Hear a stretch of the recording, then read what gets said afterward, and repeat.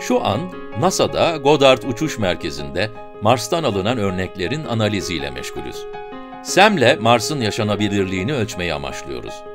Kulağa biraz karışık geliyor olabilir ama böyle söylerken kastımız Mars'ta yaşam var mı ya da hiç oldu mu sorularına cevap verebilmek. Burada bulunan her şey bir araya getiriliyor. Goddard'da harika bir ekibimiz var. Mars Bilim Laboratuvarı'ndaki temel amaçlarımızdan biri organik bileşenler bulmak. Karbon ve hidrojen içeren bileşikler. Neden derseniz, çünkü dünyadaki organik bileşenler hayat tarafından, mikroplar tarafından üretiliyor. Eğer aldığımız örneklerden, bulduğumuz taşlardan böyle bileşenleri bulursak, inanılmaz olacak. Mars'taki kimyasal ortam organik bileşenleri yok etmiyor demek olacak. Bu da Mars'taki gelecek çalışmalar için büyük bir adım olacak. Böylece Mars'a gidip bu organik yapıların nerede oluştuğunu bulmaya çalışabilir ve daha detaylı aramalar yapabiliriz.